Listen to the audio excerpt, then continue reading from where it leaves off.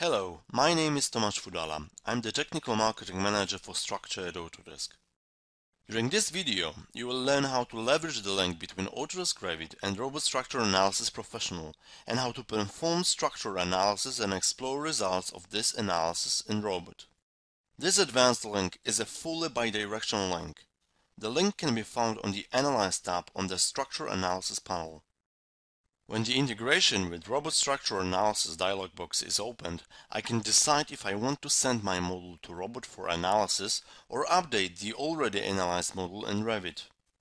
In this case, I'm sending my analytical model with loads and boundary conditions defined directly to Robot.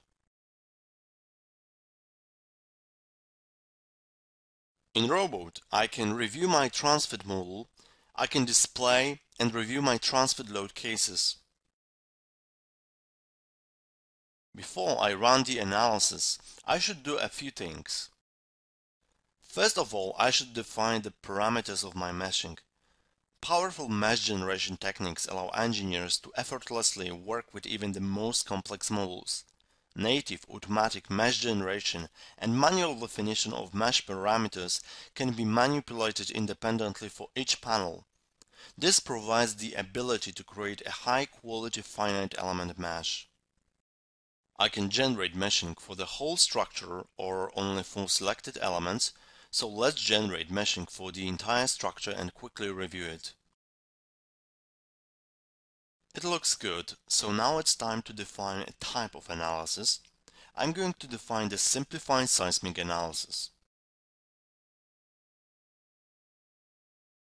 Applying this approach needs definition of a load case of a separate analysis type, seismic equivalent lateral force method. The simplified seismic analysis can be defined from the Analyze type dialog box. Using this dialog box, I can define many different types of analysis. Using this method requires the definition of the stories of the building in the model. They were automatically created when I transferred the model from Revit. I will only rename them. These stories can be also presented using different colors.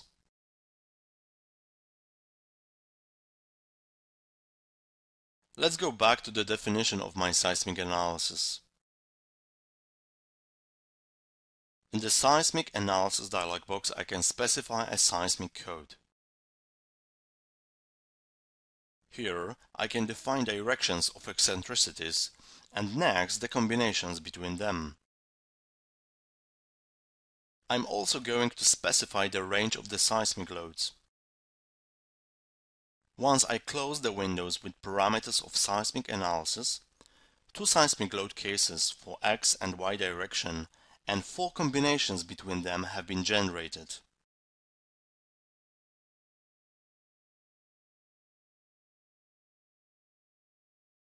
Now let me define the automatic load combinations according to the selected design code. These combinations will be generated during calculations. Okay, now I'm good to go and run calculations.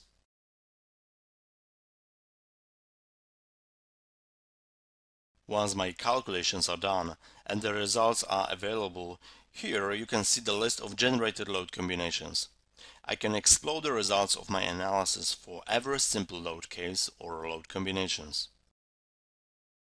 So now, let's take a closer look at the results. I can use the Diagrams for Bars option to display structure deformation and the diagrams of selected forces on structure members. If I am interested in specific forces, stresses, deformations, etc., I can just select them in the diagram dialog to gain additional information necessary for decision making and further iteration. I can also specify the method for displaying the diagrams on the structure.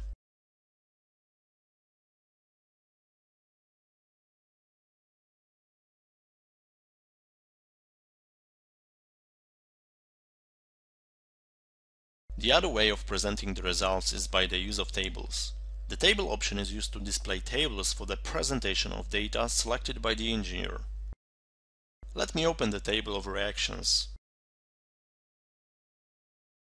Tabular results may be easily filtered and sorted to show the specific data which engineers are looking for, and easily exported to spreadsheets for post-processing of data.